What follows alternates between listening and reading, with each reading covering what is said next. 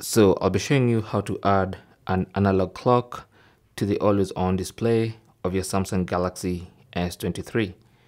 Now as you can see by default we do have this digital clock.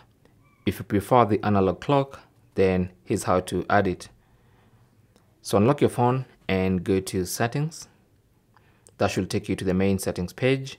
From here go to lock screen, tap on that and then under lock screen go to always on display.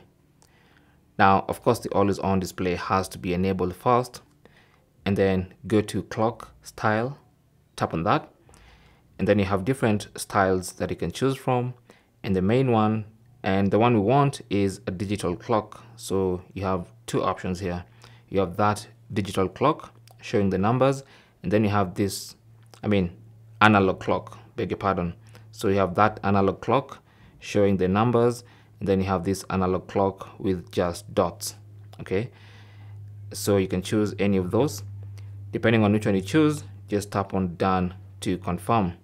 And now you should see an analog clock on your always on display for the Samsung Galaxy S23 thanks for watching. Leave your comments and questions down below and good luck